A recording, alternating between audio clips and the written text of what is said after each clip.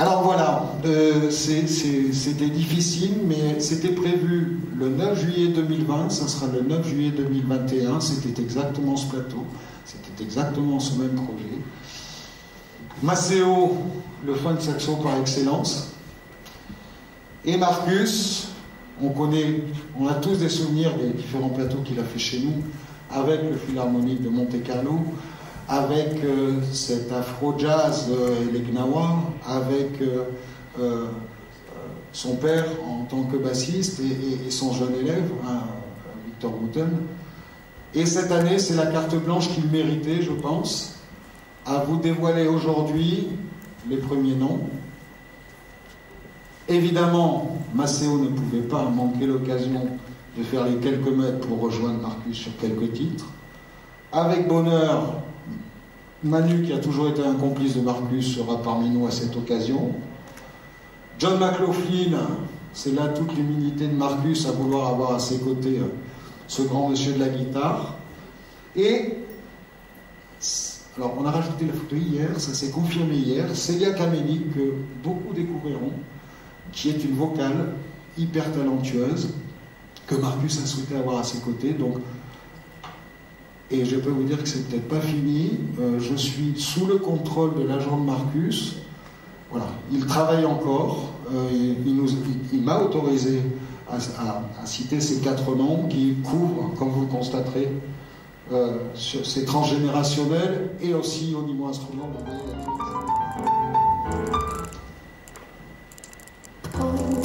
your heart as black as night.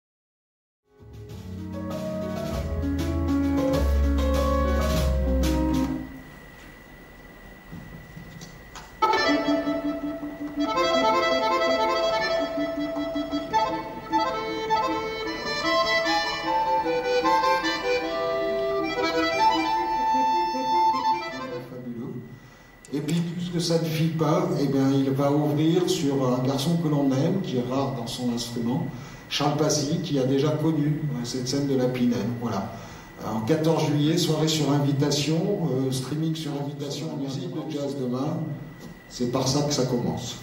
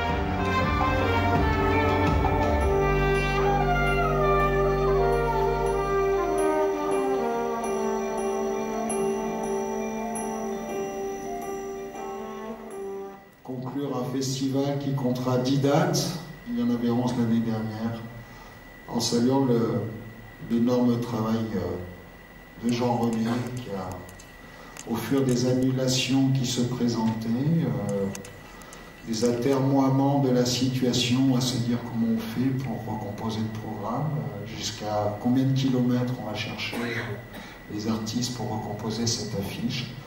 ben voilà ce qui en sort. Je pense que vous avez tous une vingtaine d'années de festival, en tout cas c'est mon cas. Moi je pense que pour un 60e anniversaire, tant par la diversité euh, générationnelle que par la diversité musicale, que par la diversité instrumentale, voilà les trois diversités qui nous incombent en matière de jazz.